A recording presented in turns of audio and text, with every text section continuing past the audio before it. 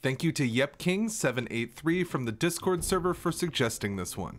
In Fallout 4, Diamond City acts as a significant hub for the people that live in the Commonwealth. The converted baseball stadium has one of the best markets for miles, and it is in this market that we will find many people worrying about synths. Whether it's because of Piper's paper or just general paranoia, the people of Diamond City are abuzz with talks of the Institute kidnapping citizens in the night and replacing them with synths.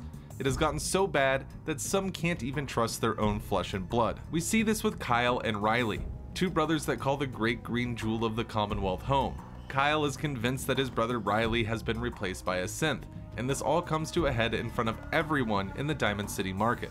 Typically, we would see this confrontation and eventually one of the guards would stop Kyle. However, suppose we do the heavy lifting and drop Kyle ourselves. In that case, the guard will have some unique dialogue for the sole survivor.